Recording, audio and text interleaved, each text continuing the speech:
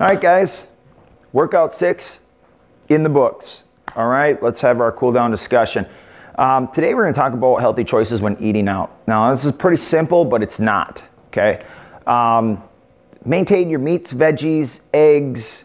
Things to stay away from is dairy, soda, and um, things like that. Now, obviously, if this is something that you're doing to reward yourself, um, I understand that we make substitutions and things like that. But if you're serious about cutting the weight, um, you know, stick to your water. Um, you know, I don't have anything wrong with uh, coffee if it's no sugar and no milk added or cream. Um, your steak, your hamburger, um, things like that, uh, you can have, but just take the bread off right? And, and watch the condiments because they're so high in um, corn syrup or high.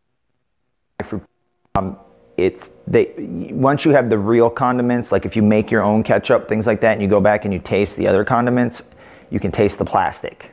So it it it really doesn't taste very good. Um, you're so used to it that you think it does. Anyways, um, you know, fried foods, obviously, you want to watch that and um, just concentrate. You can go pretty much anywhere and um, just get the lettuce, tomato, the onion, the whatever meat it is, and um, you know a water. You know, and um, if, if, if you're not full, get two of them, right?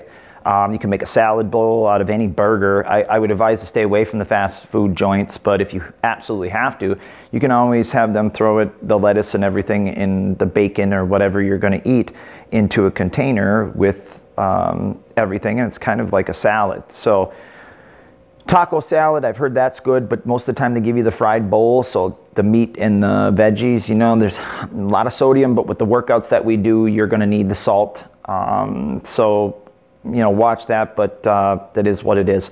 But you're halfway, guys. Um, you know, you should be starting to see some uh, some gains, maybe some better mobility, movement, some strength. Uh, maybe your sleeping pattern is getting better. I mean, I, I, I know that with most of my clients, the first month, the sleeping is the first thing that comes.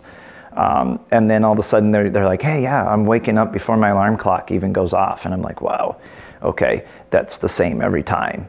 And you're just getting on a schedule, you're feeling more confident, you're hitting those mini goals. Hopefully, you're staying with your 40, 40, 20, 40 fats, 40 proteins, 20% carbs. You're using that MyFitnessPal app. Um, that's a huge benefit.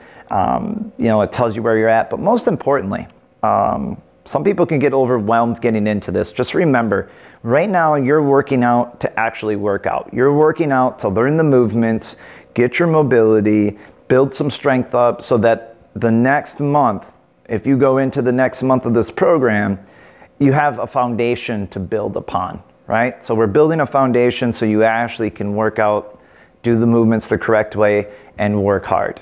Okay? Not that you're not working hard already. I'm just saying that just focus on making good habits, right? Hitting your workouts, getting your water in, um, you know, getting your sleep, um, eating those healthy fats and healthy proteins, and working on cutting the carbs. You didn't get where you were in a day, and I'm still on a journey, man. I, I love dairy. I love milk. I love chocolate milk all the time. So, and I love ice cream. So it's a constant battle with yourself to continue to stay on schedule, and you'll have cheat days. But in the beginning, if you do that, um, I find that it's a little hard for people to um, stick with what they're doing.